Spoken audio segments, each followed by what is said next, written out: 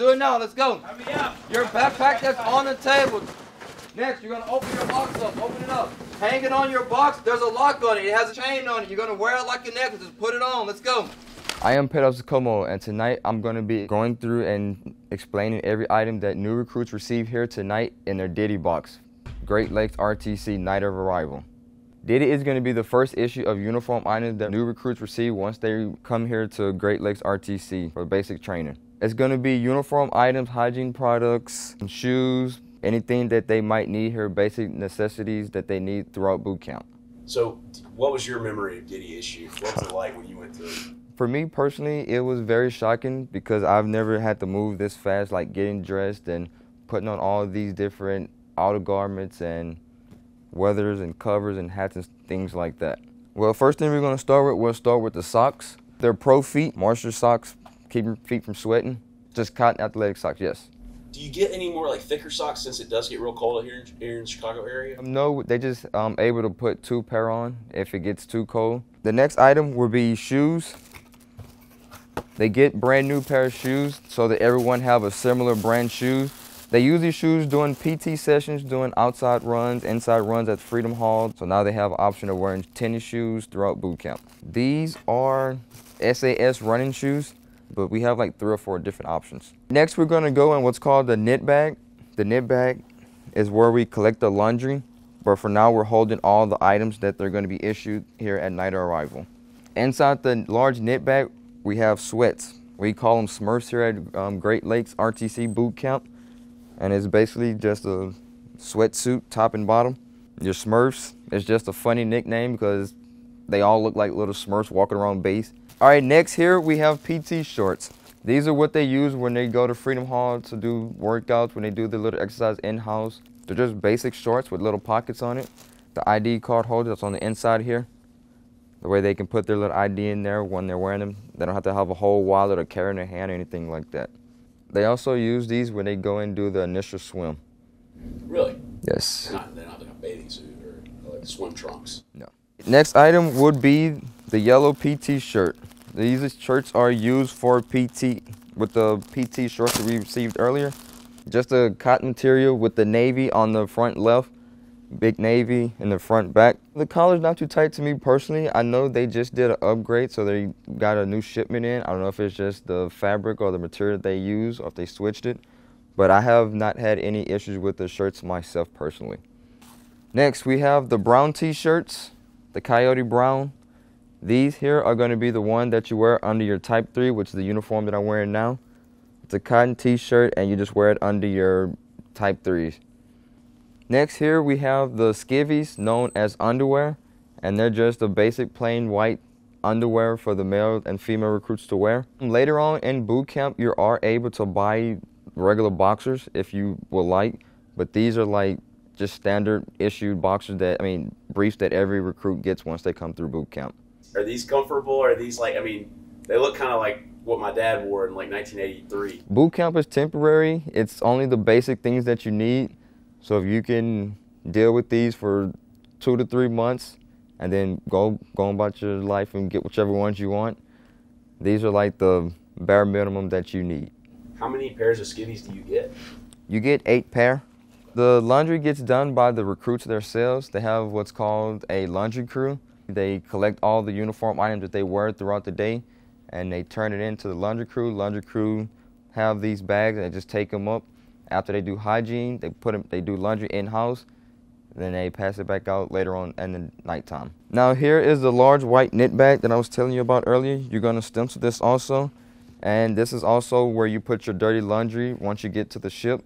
So you're issued it here, and you can once again you're gonna put your name on it, and all your dirty laundry will just go inside. It opens up like a little laundry bag. We have shower shoes. The shower shoes are used for when they're going and take a shower, hygiene. They're just little shower shoes so they can go from their rack to the shower and then back. And then they can change into their, their socks and their shoes. Next, we have the backpack. The backpack is issued because they're to have multiple items they need to carry. Up next, we have the hydration tool, your water bottle, and pretty much you're just to put your name on it, and then you're going to carry this around everywhere you go, whenever you leave. That way, you're able to hydrate as required. Why is hydration such a big deal? It's, it's a big deal because we do a lot of PT Even though it's wintertime, your body still needs to hydrate.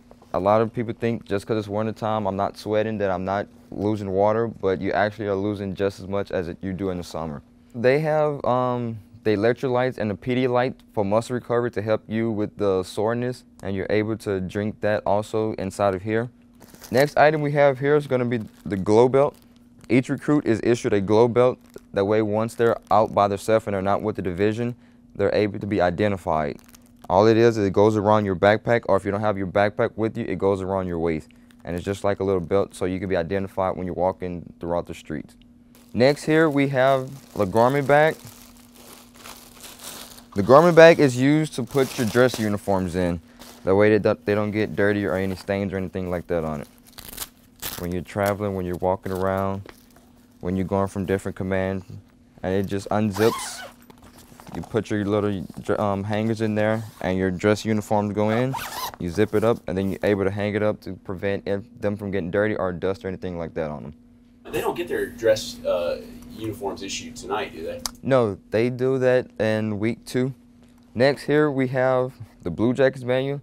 It's all the important da- dates in history of the United States Navy, and it's for them to read so they can study and have a basic knowledge of what happened with the recruits and sailors before them. Are there like key aspects of that book that every recruit needs to learn fast?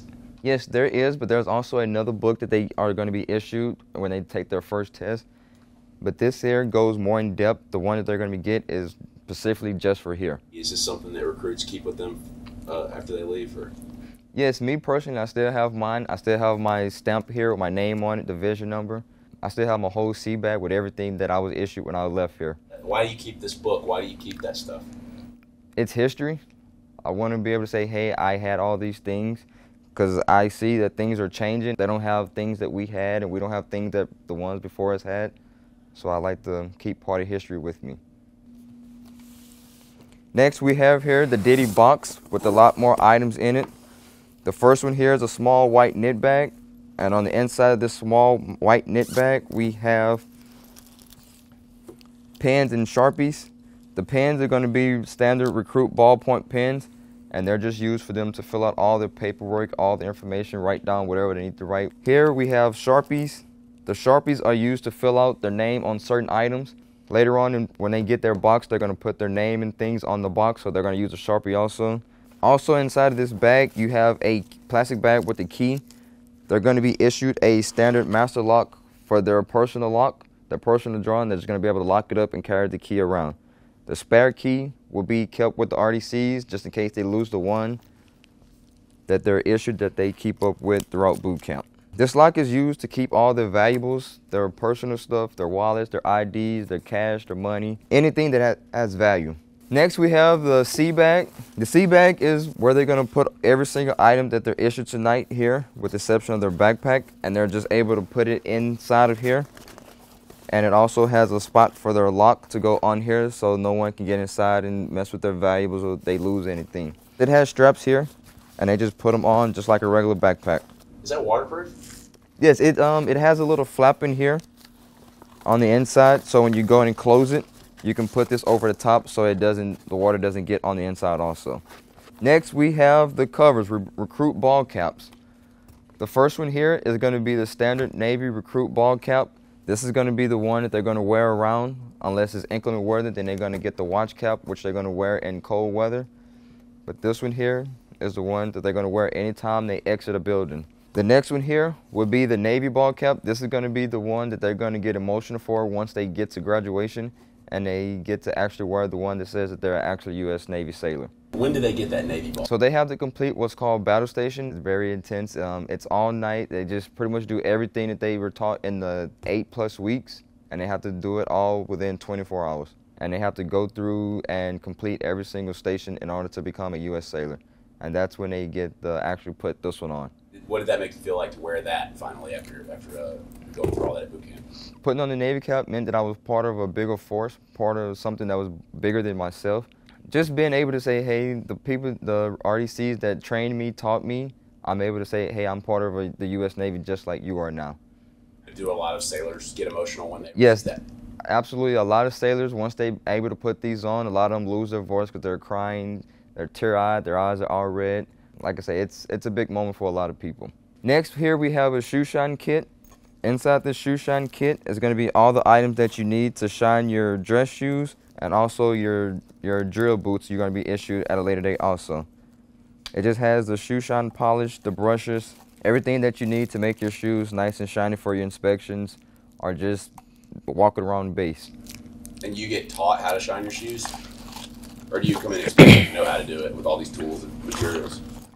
A lot of the recruits, once they come in, a lot of them already know because they look it up on YouTube and things like that. But RDCs, at a certain point in time, they also do like mentoring and they teach the recruits how to shine boots on, give them little tips and pointers on how to actually make it look better.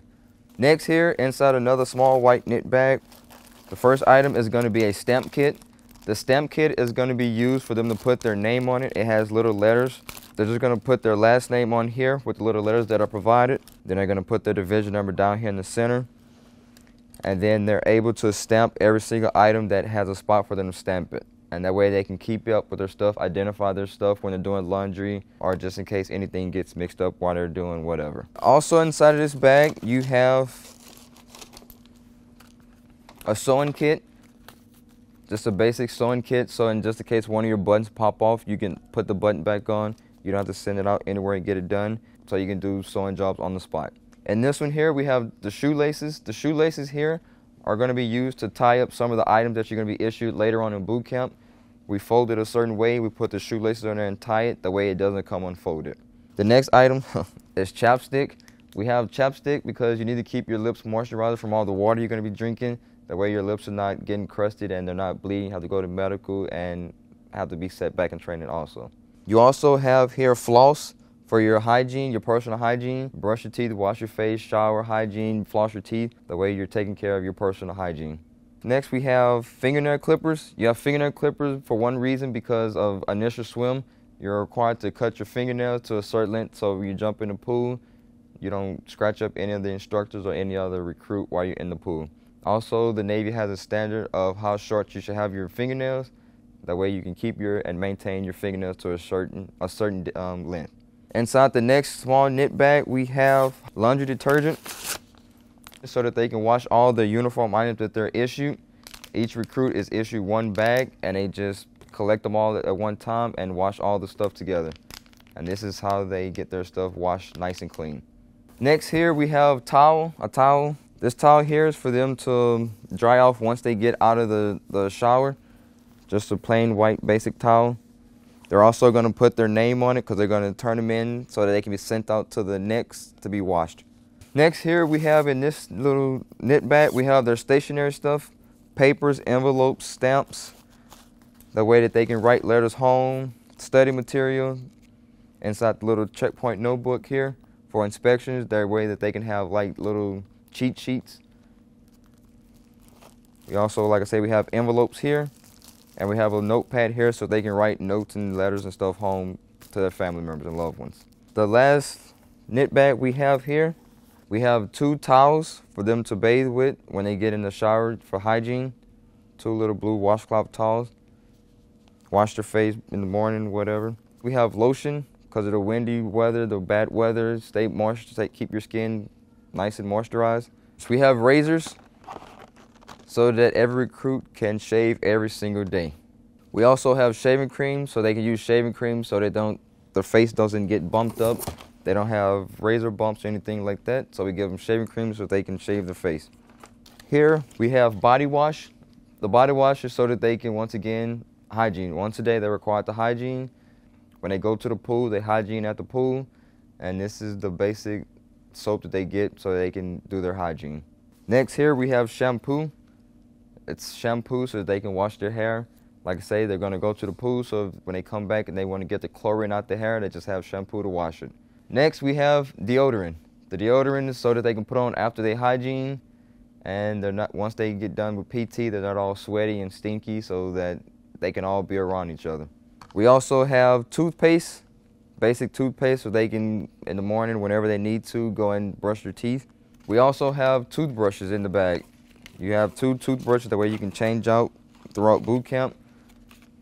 And they're just there to so you can recruits can wake up in the morning, brush their teeth before bedtime, brush their teeth, do it whenever they need to. After they do hygiene, they put them, they do laundry in house, then they pass it back out later on in the nighttime. Last item inside this bag is a toothbrush holder. Toothbrush holder is just so that they can put their toothbrush inside of this little plastic tube. That way it's not exposed and getting dirty and getting other dirty items on the toothbrush. Keep it clean. So this is all free, right? Like they don't have to pay for this, right? They don't physically pay here. It's taken out of their first check and then eventually it's put back in their check so that they can they don't have to actually pay for it. These are all the items that they're issued in their Ditty box on the first night here at Great Lakes RTC. This is everything they're gonna be they're gonna need the basic necessities to begin their journey at RTC.